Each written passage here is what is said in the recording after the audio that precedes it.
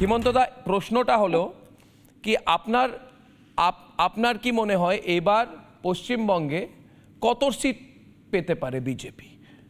Maximum দেখুন বলুন, না সিটটা বলা এখনও ঠিক হয়নি কেন আমরা ফাইট করেছি for hundred percent. If I say কি আমরা ত্রিশ পাবে পঁচিশ পাবে তব এটা প্রশ্ন হবে কি BJP already surrender fifteen seat but may আপনাকে এটা হান্ড্রেড পার্সেন্ট বলব কি this time there will be total revolution in Bengal Bengal is voting for BJP completely and আপনারা দেখুন ইলেকশনের পরে একটা অসাধারণ রেজাল্ট আসবে। অসাধারণ। অসাধারণ রেজাল্ট আসবে এখন কল্পনাও এখন জিতার যে রেজাল্ট এখনও কল্পনাও করা যায় না। এরকম রেজাল্ট আসবে পশ্চিমবাংলায়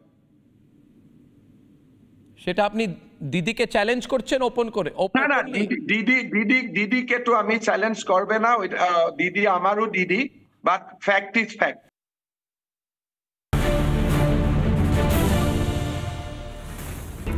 Himanta দা প্রশ্নটা হলো কি আপনার আপনার কি মনে হয় এবার পশ্চিমবঙ্গে কত সিট পেতে পারে বিজেপি? ম্যাক্সিমাম দেখুন বলুন, সিটটা বাংলায় বলুন। estimate- না সিটটা বলা এখনও ঠিক হয়নি। কেন? আমরা ফাইট করেছি for hundred percent. If I say কি আমরা ত্রিশ পাবে পঁচিশ পাবে তব এটা প্রশ্ন হবে কি BJP already surrender fifteen seats but may আপনাকে এটা হান্ড্রেড পার্সেন্ট বলব কি this time there will be total revolution in Bengal Bengal is voting for BJP completely and আপনারা দেখুন ইলেকশনের পরে একটা অসাধারণ রেজাল্ট আসবে। অসাধারণ।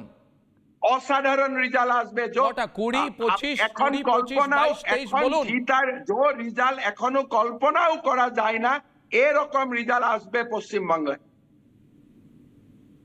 সেটা আপনি দিদিকে চ্যালেঞ্জ করছেন ওপেন করে না না দিদি দিদি দিদিকে তো আমি চ্যালেঞ্জ করবে না দিদি আমারও দিদি বাট ফ্যাক্ট ইজ ফ্যাক্ট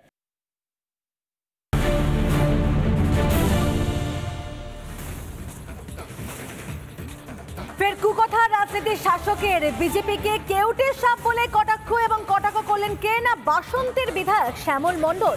ভোটের প্রচুরই বিরোধীদের নিশানা, একই সঙ্গে কিন্তু অন্য সেই নিদানও শোনা গেল আরেক বিধায়কের মুখে। তবে শ্যামল মণ্ডল যখন সেখানে সে জনসভায় গিয়েছেন, সেই জনসভা থেকে রীতিমতো বিজেপিকে কেউটে সাপ বলে কটাক্ষ করলেন। কি বললেন শ্যামল মণ্ডল? শুনব আমরা।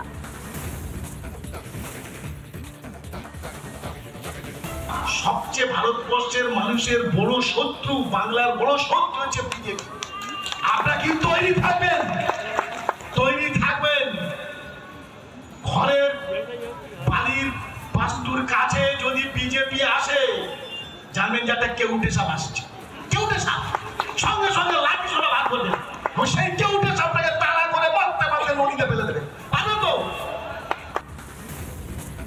জনসভায় বক্তব্য রাখছিলেন বিধায়ক এবং সেখানে গিয়ে এই বাসন্তী বিধানসভা কেন্দ্রের বিধায়ক, অর্থাৎ শ্যামল মণ্ডল তিনি এমনই মন্তব্য করলেন। কিন্তু ঠিক এই নিয়ে যখন তাকে প্রশ্ন করা হয়, তিনি রীতিমতো তার সাফাইও দিলেন। কি বলেন শ্যামল মণ্ডল তার সাফাইয়ের উত্তরে শুনব। এখন তো এইটাই সবচেয়ে বড় হচ্ছে, ওষুধ হচ্ছে বিজেপির বিরুদ্ধে। কারণ ওরা যেভাবে সারা ভারতবর্ষে ধর্মের নাম করে সাম্প্রদায়িকতার বিষ ছড়াচ্ছে সেজন্যই কিন্তু আমি বলেছি যে আমাদের পশ্চিমবাংলার বিভিন্ন প্রান্তে, ভারতবর্ষের বিভিন্ন প্রান্তে, যেখানে যেখানে ওরা যাবে, মানুষের কাছে, কারোর বাস্তুবিদের কাছে রাস্তায়, ওদের বিরুদ্ধে প্রতিবাদ করবার জন্যে কেউটে সাপ হিসেবে ওদেরকে লাঠি দিয়ে পিঠে তাড়া করতে হবে কেউটে সাপের মতো, ওদের জব্দ করতে শুধুমাত্র কিন্তু বিধায়ক শ্যামল মণ্ডল নয়, এই প্রচার সভায় আরেক বিধায়কও ছিলেন এবং তার মুখেও কিন্তু খানিকটা একই কথা শোনা গেল, অর্থাৎ একই পথে তিনিও হেঁটেছিলেন। আপনাদেরকে শোনাবো যে বিধায়ক লাভলি মৈত্র, ঠিক এদিন প্রচার সভা থেকে কি বলেছেন? শুনুন। আজকে আবাস যোজনার টাকা কারা আটকে রেখেছে? বিজেপি আটকে রেখেছে, কেন্দ্রীয় সরকার। কে দেবে আপনাদের? মমতা বন্দ্যোপাধ্যায় দেবে। আজকে লক্ষ্মীর ভান্ডার এত মায়েরা এখানে উপস্থিত আছে, পাচ্ছেন তো?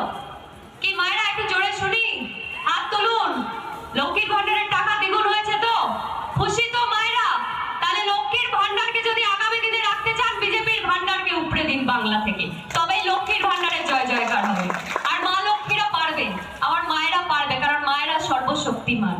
মায়েদের শক্তিতেই আমরা এগিয়ে চলেছি, তাই তো? চলছে লোকসভা নির্বাচন এবং সেখানেও ফের কুকথার রাজনীতি শাসকের। কেউ কখনো বিজেপিকে কেউটা সব বলে কটাক্ষ করলেন, তো কেউ আবার দেখা যাচ্ছে বিজেপি প্রার্থীকে ঘেরাওয়ের নিদান দিলেন। রাজ্য বিজেপির সাধারণ সম্পাদক জগন্নাথ চ্যাটার্জি এই মুহূর্তে আমাদের সঙ্গে টেলিফোন লাইনে রয়েছে। আপনাকে স্বাগত, রিপাবলিক বাংলায়। দেখুন যে আবারও সে কুকথার রাজনীতি চলছে শাসকের। কখনো কেউটা সাপের সঙ্গে তুলনা, তো কখনো আবার বিজেপি প্রার্থীকে ঘেরাওয়ের নিদান দিচ্ছেন বিধায়করা। কি বলবেন? এসব করে কোনো লাভ হবে না।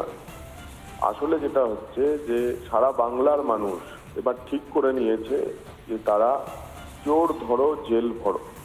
বিজেপির প্রার্থীকে কেউটে সাপ বলা, বিজেপিকে বিরুদ্ধে কটাক্ষ করা কথা বলা এসব করে কি ফল হয়েছিল তা ভারতবর্ষের মানুষ দেখিয়েছে। কখনো প্রধানমন্ত্রীকে মদ কা সৌদাগার কখনো প্রধানমন্ত্রীকে চৌকিদার, চোর হ্যাঁ এ ধরনের কথা যত কংগ্রেস সহ বিরোধী দলগুলি বলেছে, বিজেপির আসন সংখ্যা তত বেড়েছে। তৃণমূল কংগ্রেস এ ধরনের আক্রমণ যত করবে, তা প্রমাণ করবে যে তারা হতাশার শিকার, তাদের আত্মবিশ্বাস নেই এবং গত দু দফা যে যে দুই ফেজে ভোট হয়েছে, তাতে এখনও অব্দি তৃণমূল কংগ্রেস খাতা খুলতে পারেনি। তা আরও যত পাঁচটি পর্যায়ের ভোট আছে, যত ভোট এগোবে, তৃণমূল কংগ্রেস বুঝতে পারবে যে যেভাবে শিক্ষক দুর্নীতি থেকে শুরু করে কয়লা, গরুদের দুর্নীতিতে নিমজ্জ এই সরকার, যেভাবে সন্দেশখালীর ঘটনা ঘটছে, মায়েদের নিরাপত্তা নেই উল্টো থেকে মোদিজির গ্যারেন্টি মানে গ্যারেন্টি পূরণের গ্যারেন্টি এটাও পশ্চিমবঙ্গের মানুষ বুঝেছে। তাই মোদিজির সভা গতকাল মালদায়, যেখানে তৃণমূল কংগ্রেসের দুই শীর্ষ নেতা নেত্রীর মিটিং এ লোকই হচ্ছে না। আর মোদিজির সভায় লোকে, লোককে জায়গা দেওয়া- যাচ্ছে না। তো সেই কারণে এই বিপরীত পরিস্থিতিতে তৃণমূল কংগ্রেসের একবার গরমও পড়েছে। তো তাতে একটা মানসিক ভারসাম্য রাখাও ওদের নেতাদের অসুবিধা হচ্ছে বলে আমার মনে হচ্ছে। তো আমি ঈশ্বরের কাছে প্রার্থনা করব যে গরম যত বাড়বে সেই সঙ্গে পাল্লা দিয়ে তৃণমূল নেতাদের মানসিক ভারসাম্য থাকুক ভারসাম্য বাড়ুক তাহলে মুখে অন্তত বাজে কথা বেরোবে না। আর তারপর চৌঠা জুনের পর তো তারা বুঝতেই পারবে যে কীরকম কারেন্ট তাদের লেগেছে। মানে কোথাও কি আপনি বলতে চাইছেন যে শাসক দল যতই আক্রমণাত্মক হবে ততই আপনাদের ভোট বাড়বে? ধন্যবাদ জগন্নাথ বাবু শুনলেন যে তিনি কি বলেন? একই সঙ্গে আপনাদেরকে আরও একবার শোনাতে চাইব, একই সঙ্গে বলতে চাইব যে জয়নগর লোকসভার তৃণমূল প্রার্থী, যার নাম প্রতিমা মণ্ডল, তার সমর্থনে সভা চলছিল এবং সেই প্রচার সভায় উপস্থিত ছিলেন বাসন্তের বিধায়ক শ্যামল মণ্ডল এবং সোনারপুর দক্ষিণের বিধায়ক লাভলি মৈত্র। ঠিক ওই মঞ্চ থেকে রাজ্যের বিরোধী দলকে একের পর এক ঠিক এইভাবেই আক্রমণ সানিয়েছেন শাসক দলে দুই বিধায়ক। আর এই নিয়ে স্থানীয় বিজেপি নেতৃত্ব কি বলছেন শুনব। বাসন্তীর বিধায়ক শ্যামল মণ্ডল যে বক্তব্য রেখেছে তার আমি তীব্র নিন্দা করছি। তিনি কয়েকদিন আগে বলেছিলেন যে আমি তৃণমূলে নিরাপদ নই।